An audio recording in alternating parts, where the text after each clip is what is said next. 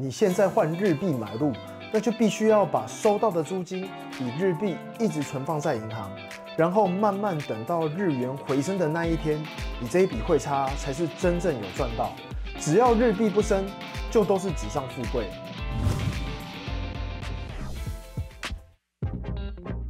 Hello，大家好，我是威廉。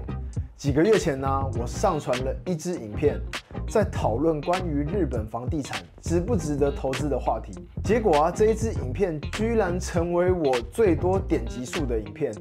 而我其他讲股票投资的影片都没有人要看，这让我有点伤心啊。不过啊，既然大家想多知道有关日本房地产的资讯，再加上我一直也有持续在观察他们的房地产，所以呢，我今天打算再聊聊日本的房地产现况，以及我自己的一些心得。这边要请大家一定要帮我订阅、点个赞。这一集呢，就是为你们特别而做的。之前的那一集啊，有聊到日本房地产多年未涨的原因，是因为每一年高额的建物折旧，再加上土地价格在九零年代被炒了过头，导致地价在往后的二十年从高点持续的下跌。如果还没搞懂日本房地产建物跟土地价值比例的人啊，可以看看右上角这一集影片。而长达二十年的下跌啊，等于是建物价值每一年跌。土地价值也每一年在跌，简直就是一把抛高后直直坠落的刀啊！谁接谁倒霉，导致该时期的日本人宁可租房屋也不想用买的。而最近十年的发展啊，让情况开始有了改变。既然这一集要聊到汇率啊，那我们必须先从房地产崩跌的源头股市来开始说起。八零年代时期啊，日本的商品热销全球，当时的通用货币美元的汇率相当的高，导致各国对日本有大。量的贸易逆差，所以当时啊，多国联合来介入汇率，这使得日币在一年以内对美元大幅升值了一倍。这样啊，对出口货品到全世界的日本企业来说，相当的不利。这会让在国外赚来的钱所能换回日本的日币啊，比去年整整少了一半啊。就像是我去年在国外赚了一块钱，换回国内可以换成六块，但是今年开始我在国外赚一块钱，换回国内只能换回三块。而这样的结果啊，就让企业的利润大幅下降。日本政府呢，不得不采取低利率的政策来提振经济。结果啊，失去的热钱在国内乱窜，所有的资产价格都火了起来。这就像是把烟火横放在室内地上，点燃后一发不可收拾啊。而日经指数在一九八九到一九九零年间达到三万八千九百点的历史高点后啊，这时泡沫破裂，那些之前在股市赚了钱，又拿钱去买房地产，或者是炒房赚了钱，又把钱拿来炒股票的人。双双在这两项投资之中深度的套牢，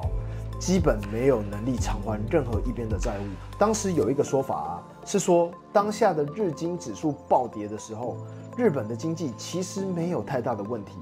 唯一的问题啊，就是各类的资产价格过高了。所以后来有经济学家假设，如果当时股市下跌的速度没有那么的迅猛。而是长时间缓慢的下跌，让价格慢慢修正。其实当时的经济并不会陷入失控状态，但是啊，当时的股市大逃杀让许多人都恐慌了，就真的像是日本电影《大逃杀》的剧情一样，一群人呢被送上了孤岛，他们被逼迫必须要互相残杀，直到剩下最后一个人，那一个人才能保命离开岛屿。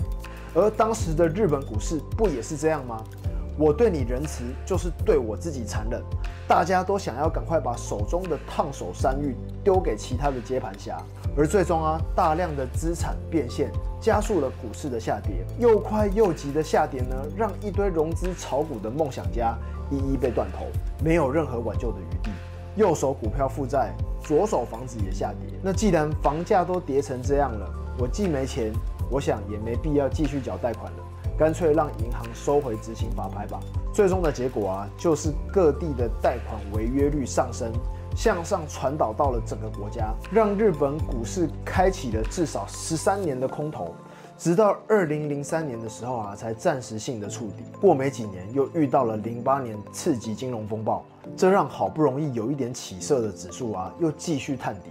而整个期间呢，日本中央政府极力想要以印钞票救经济的方式，也完全没有效用。日本经济进入了所谓失落的二十年。从二零零八年金融海啸后，又过了五年，日经指数从二零一三年开始有了起色，但民众对于先前失落经济的印象实在太深刻了。这时的大众啊，多半只相信这是股市一时的起伏，前面都烂二十年了，不会我今年买，明年就赚了吧？知名的英国投资家约翰坦伯顿爵士有一句名言来形容群众对股市的心态，他说：“行情在绝望中诞生，在半信半疑中成长，在憧憬中成熟，在希望中破灭。”二零一二到一三年这个时候的日本股市行情啊。就是在绝望中诞生，然后在大家半信半疑下开始往上爬。先前说到啊，一九八六年左右，日币大幅的升值，这导致日本政府采取低利率的政策，所以利率就从几年前的百分之八降到了百分之二。结果又没两年的时间，政府发现市场有太多的热钱，导致资产价格被疯狂推升，又赶紧把利率拉到最高百分之六。结果这一拉呀，利率就跟死亡的心电图一样，直接躺平啊！银行存款利率从九零年的百分之六，一路下调至两千年的零利率啊！直至今日啊，日本银行的利率依然在零到零点五之间徘徊。你把钱存在银行是完全没有利息的，因为银行的主要利润来源就是拿你存进来的钱去放贷借给信用良好的人来收取利息。但现在完全没有人想去跟银行借钱，银行也就赚不到任何一毛钱，储户呢也就没有半毛利息。而九零年代当时呢，社会民众普遍不愿意借贷，那个时候存活下来的企业啊，也正在努力的偿还留下来的债务，所以这就导致了日本从二零零九开始啊，进到负利率的时代，也就是银行反而要求你跟他借钱，你跟银行借钱呢，他甚至要给你利息，而负利率的情况啊，至今都依然还存在。那我们现在讲回日本的房地产，我是在二零一四年的时候开始关注东京房市，也就是差不多。股市与房地产齐涨的头两年，当时位于东京都屋龄大约二十年的房子啊，表面投报大概都有百分之五到七，而越核心热闹的地点呢，投报就越低。那偏二十三区外围的投报会高一些，但是十年后的今天呢，投报大约只剩下百分之三到五左右，在扣掉实际支出后啊，真实投报只剩下百分之二点五到四。这实在不算高啊，但是这是我粗浅的感受啊。实际上，房价到底增长了多少？可以看到这一张日本房地产指数图，它是以二零一零年的房价为基准，设定了指数一百，而二零一零也是股市在底部准备复苏的时期，所以从二零一零的指数一百到目前二零二三年的指数一百三十五。等于整体房价成长了约百分之三十五，但是如果扣掉这十三年来的通货膨胀，尤其是疫情这三年全球的高通膨，其实真正的日本房价可能只涨了百分之十。如果再加上日币贬值啊，对于目前想来买入日本房地产的外国人来说，所需花费的资金成本啊，跟十年前并没有差太多。但是我们在账面上看日本房屋的总价。还是比以前贵很多。与其说是日本的房价涨了，不如说是你手上的现金贬值了。而现在去买入啊，投报这一点确实要比以往还要低，因为通膨跟房价有直接的关联。高通货膨胀会让房价跟租金一起上升，但是汇率却没有直接相关。我们会感觉到划算，那只是因为我们拿外币换成日币去买房。相比以往的汇率，觉得自己赚到了。但是日本的房客还是以日币缴纳租金啊，这就跟汇率没有关系。除非你要把日币汇出来。我知道啊，很多朋友最近都关心汇率，觉得日币变得那么便宜，现在是不是换日币去购买日本的房产或投资日本股票的最佳时机呢？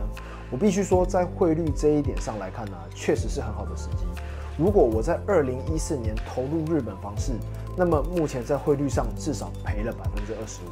但是如果在这个时候的买入呢，确实有百分之二十五价格上的优势。但就房屋租金投报率跟股市价格来说啊，现在买入的时机并没有以往的好。你现在换日币买入啊，那就必须把收到的租金以日币一直存放在银行。然后慢慢等待到日元回升的那一天，以这一笔汇差才算是真正有赚到。只要日币不升啊，那都是纸上富贵。再加上，如果你直接把每一个月收到的日币租金换回台币，你的汇率就是不好啊。而现在的房租投报也不如以往，整体而言呢，你的投资效益还是很差。所以，投资条件的优先顺序应该是股价、房价有没有便宜。这些被投资标的的体质好不好，还有投报率高不高？上述这三项的重要性啊，肯定都优先于汇率。我们不应该以汇率作为投资决策的首要原因，因为汇率只是一时的，但优秀的投资标的却是长久的。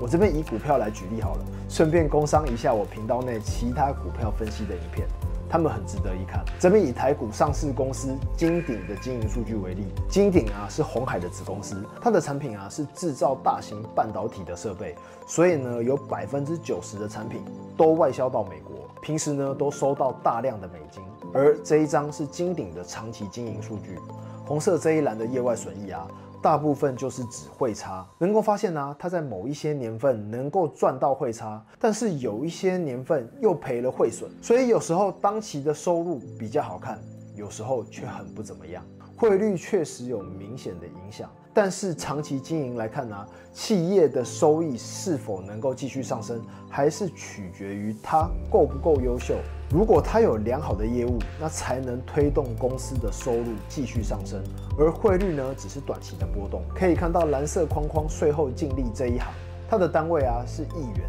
我们能够发现呢，虽然它偶尔会被左边的业外损益，也就是汇差汇损影响，但是净利润数字能够持续向上，主要还是因为做生意的营收上升了。所以啊，投资标的是否优质，比当下汇率好不好还要重要的多了。所以说到底啊，究竟现在能不能投资日本的房地产呢？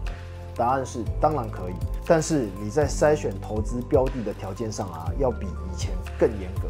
而且还要拉长等待的时间。有一些高投报、好地段的物件还是会出现，只是出现的频率比以前低。以前呢，一个月可能有两三间，而现在是两个月才看到一间。但只要你把时间拉长，还是能偶尔遇到。然后在购买物件的时候啊，一律建议申请贷款，这样第一，你在日本才有银行账户，去更方便的管理日币；第二，每一个月收到的租金直接去缴纳贷款，就不会每个月把日币汇回台湾时被收取高额的跨国手续费；第三，贷款还可以抵税，因为我们并不住在日本。几乎无法产出任何的支出来抵扣所得税。不过啊，贷款就是一个很好的抵税方式。只是要注意啊，银行只为房屋总额超过三千万日元的物件提供贷款，所以我总是建议大家要以购买店面为主。而不是住宅，因为最重要的关键点是投资标的本身是不是优质资产，也就是那一种就算汇率不划算，你都会愿意买下来的优质标的。当然呢，汇率有占便宜是更好的事情，不过这只能算是锦上添花了。那么我今天的分享就到这边，如果你有任何想跟我讨论的问题，欢迎在下方留言。如果你还喜欢今天的影片，那请记得一定要订阅、按赞。那我们就下一期再见喽，拜。